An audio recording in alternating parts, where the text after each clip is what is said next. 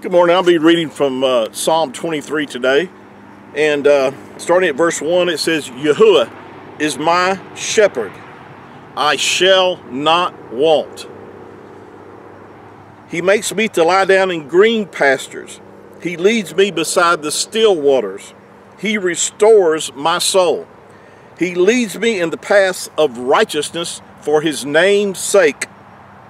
Yes, though I walk through the valley of the shadow of death, I will fear no evil, for you are with me.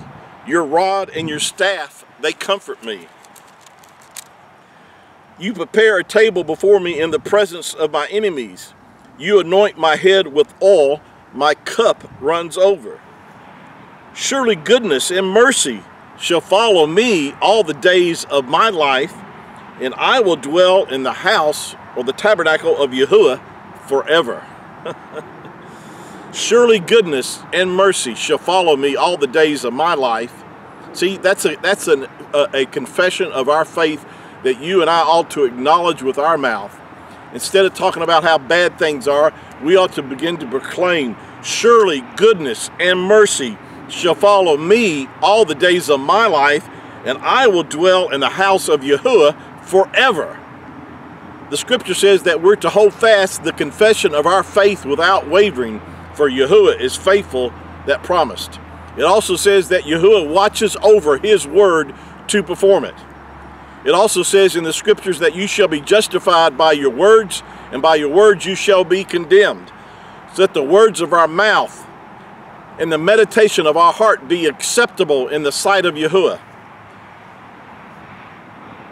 The words that come out of our mouth, let them be words of faith and, and, and, and let them be words that that proclaim the truth of the, the word of Yahuah.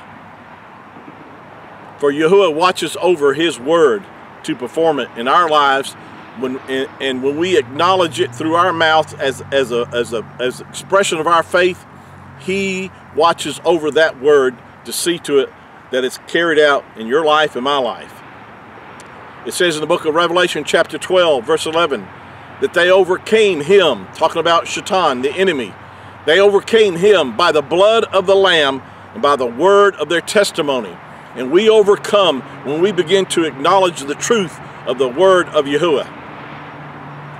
May this eh, help you today and encourage you and strengthen you today. Please share this with others as well. Shalom.